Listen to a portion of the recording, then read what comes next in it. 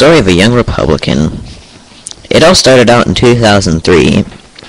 A very trying time, very, very sad, sad time. My mama wanted George W. Bush, and I wanted him too, because I just saw my mom more and I just took her side. My dad wanted John Kerry. Hmm, or so I thought. And I'd watch debates. It'd be like a dogfight between Germany and America, and they would both end with bang, the election, and who won? George Bush. But I wondered, you know, why did George Bush win?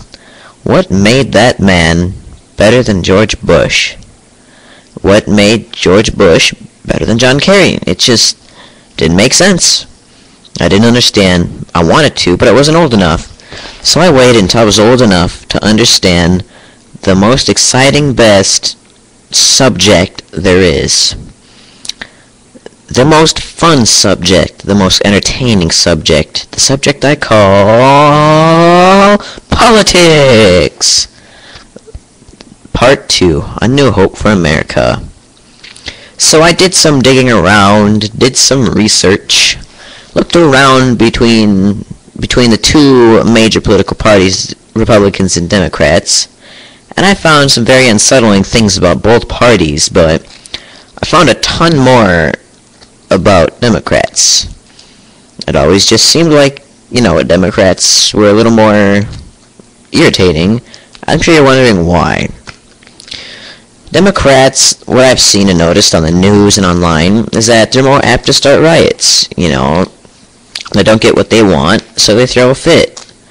It's just how they work. I'm not saying all of them do this, but some do. You know, Republicans, know, they don't get what they want, they swallow it, and they try again next election. I've noticed that Democrats lie a little bit more.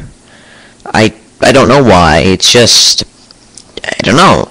Most Republicans don't lie, and if you ever go to a convention, Republicans don't litter.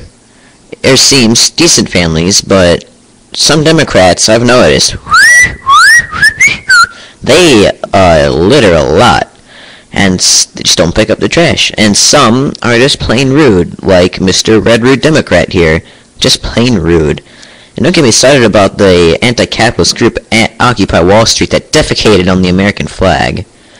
And most good actors are Republicans, like Adam Sandler, Clint Eastwood. He's very good, you know. Dirty Harry, all the good stuff.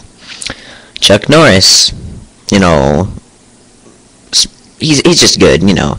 And Vince Vaughn, not many people have heard of him, but he's pretty good. And yeah, so yeah, and definitely Mitt Romney, the best, most bestest politician besides George Bush ever.